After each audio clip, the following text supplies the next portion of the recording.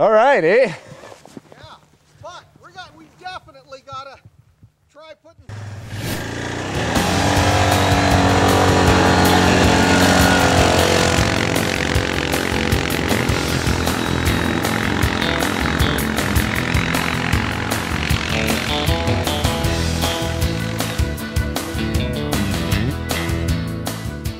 Pretty incredible. Pretty incredible. Let me give you a little clue here as to how you can tell a lot of times whether the show is filmed or behind the scenes. Because typically I would like to show that I'm in a lot better shape and not out of breath after running down a hill.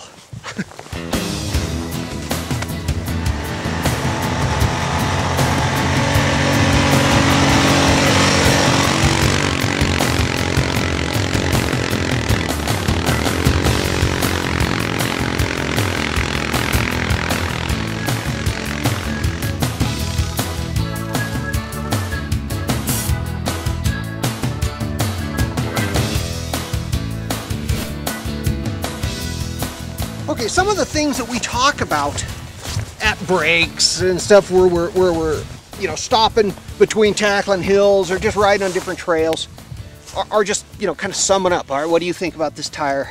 How does this work? What do you think it's doing on this bike? You know, like uh, on this case here with our Rubicon with the uh, mud lights on it, first thing I could say is, isn't that cool looking? It's like they had that planned, how that packs in there and looks good. We're in pretty powdery snow today. We've driven on dirt trails to get here. Now we're in fairly soft, fresh snow.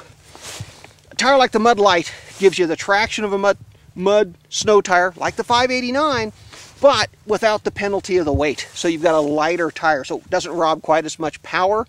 Uh, helps, doesn't hinder the handling quite as much, and isn't give you so much traction that it adversely affects the front differential. And remember, on an, on an ATV we found, like the Honda for instance, that has a decent front differential, uh, the more traction you provide, the more tire you provide, uh, the more it aggravates that front differential. So that's something we always see on these machines over and over again as we swap tires on different machines.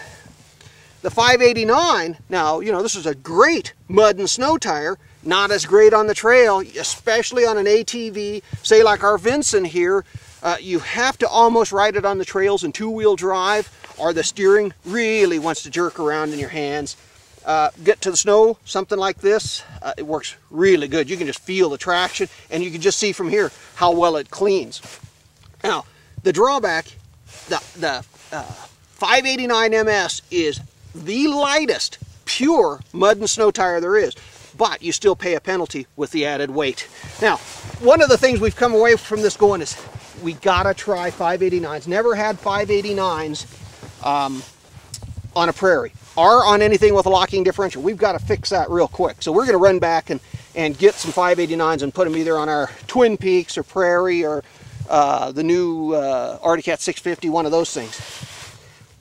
Constantly, we are constantly surprised. Now, Ray Sidorchik put some of these on his Vinson and was doing some snowplow tests. I think it's been a couple years ago, or a year ago, right when the 589s came out.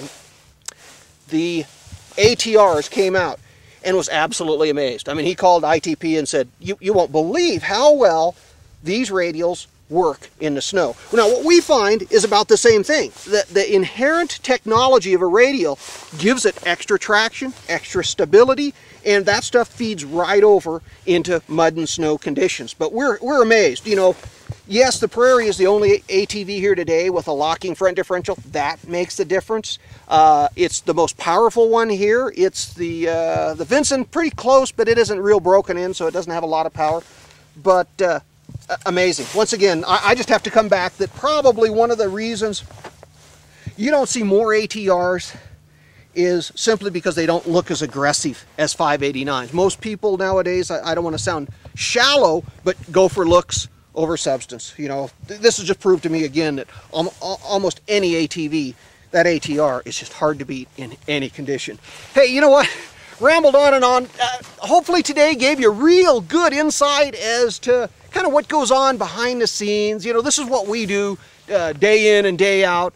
And then we gather this information and sometimes you know as you maybe saw in here we do faux pas we you know we, we make mistakes we stumble. This is the kind of stuff that we do. We gather this information we talk about it over coffee or lunch sometime when we're when we're working. We gather this information then we go back and we know what we want to talk about when we film a show. So I hope this gave you a little bit better idea what goes on when we film ATV television and a little bit better idea that we actually can come out here and have fun too.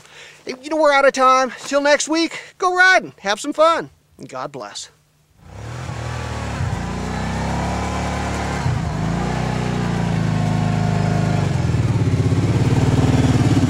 That definitely shows what a locker will do.